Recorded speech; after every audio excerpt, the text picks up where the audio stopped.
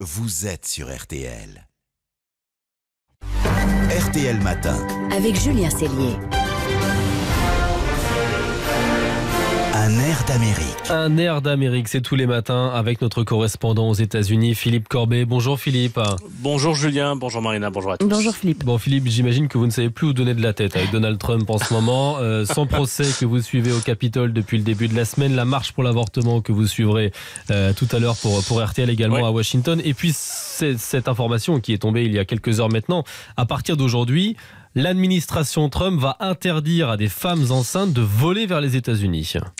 Oui, des consignes ont été passées auprès des services consulaires. Les femmes enceintes qui pourraient être sur le territoire américain au moment d'accoucher ne devraient plus théoriquement obtenir de visa. On ne sait pas très bien encore comment les employés des ambassades à travers le monde vont pouvoir évaluer les grossesses. Le département d'État dit que ces agentes vont évidemment pas faire passer des tests de grossesse. Donc, pour l'instant, l'application reste confuse, mais vous, comprenez l'idée. Au passage, ça ne concerne pas les citoyennes des pays pour lesquels euh, est, est accordée une exemption de visa pour les courtes visites, donc pas euh, les femmes françaises. Selon l'équipe Trump, c'est pour lutter contre euh, ce qu'elle appelle le tourisme des naissances, c'est-à-dire des femmes qui viennent accoucher aux États-Unis, car tout enfant qui naît ici devient automatiquement citoyen américain. Les États-Unis, comme la France et comme une trentaine d'autres nations, maintiennent avec des, des modalités différentes le Hmm. principe du droit du sol. Pourquoi vouloir remettre en cause le droit du sol? Alors ça, ça sort pas de nulle part. hein. Des élus républicains, largement relayés par Fox News, dénoncent euh, très régulièrement ce qu'ils appellent les anchor babies, les bébés encres, c'est-à-dire des bébés qui, selon eux, servent à jeter l'encre. Car si l'enfant est américain, ils disent qu'un jour les parents pourront obtenir à leur tour le droit de venir s'installer aux États-Unis. Le président avait promis en campagne de revenir sur le droit du sol, mais c'est euh, impossible parce que ça figure dans la Constitution.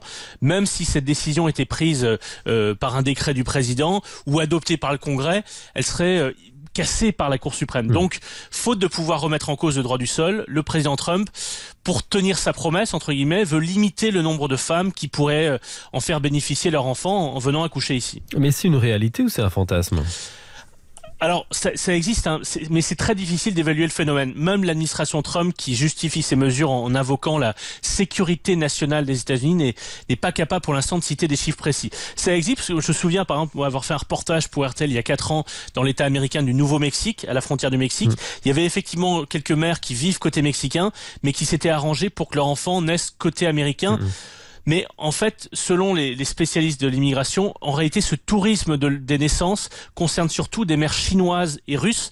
Il y a eu plusieurs affaires, des agences qui facturent 80, 100 000 dollars pour qu'une future mère vienne aux États-Unis pour accoucher. Plusieurs mères d'ailleurs sont logées en même temps dans un appartement avec plusieurs bébés. C'est assez euh, sordide.